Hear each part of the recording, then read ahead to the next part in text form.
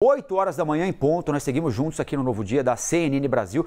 Quero contar para vocês uma história, minha gente, que parece, parece filme, um negócio incrível que está acontecendo aqui entre o centro-oeste, a região norte do país.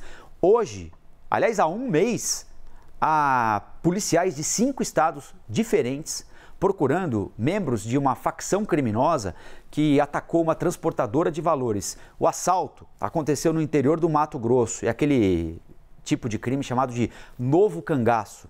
Os bandidos vão, facções vão a uma determinada cidade, onde o efetivo policial é relativamente pequeno, geralmente durante a madrugada, atacam a agência bancária, tocam o terror na cidade e fogem. Eles estão fugindo há um mês, 30 dias, parte da quadrilha, né? Porque a outra parte já ficou pelo caminho. 15 morreram, 15 bandidos morreram, dois foram presos, mas há um número indeterminado de bandidos que se espalhou por lavouras da região, se espalhou por matas da região, desapareceram.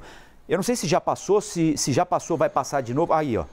Eles estão comendo milho, por exemplo. Né? Eles vão para dentro de uma lavoura e se alimentam com, com milho, arrancam milho do pé e, e, e, comem. Acharam sal também, olha aí os policiais, acharam sal.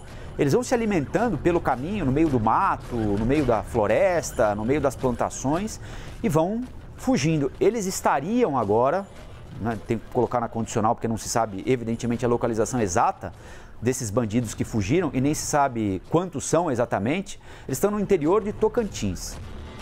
15 mortos, dois presos e um número indeterminado de fugitivos sendo buscados por policiais de cinco estados diferentes há um mês no meio do mato.